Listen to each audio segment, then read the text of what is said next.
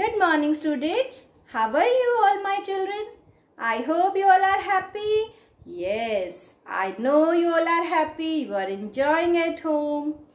Okay students, bete yesterday we have done the keywords of our chapter 4 my home and today we will do the question answers. Okay. Now bete open your notebook. Let us write question answers of chapter 4 my home. Yes bete now open your notebook write down classwork and date. In the first line write chapter 4 name of the chapter my home. And today we are going to write its question answers. Now bete write down the first question. What is our first question? Yes bete write down name any two parts of a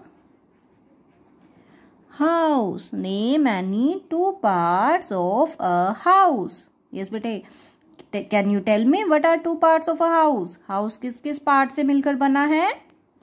yes write down बेटे। House has mainly made up of two parts number one roof and number two walls बेटे corrected first letter should be capital. So write down roof.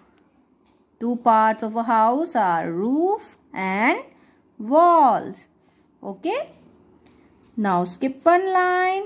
Then write down question number 2 what is our question number 2 question number 2 is what is the use of a door in the house.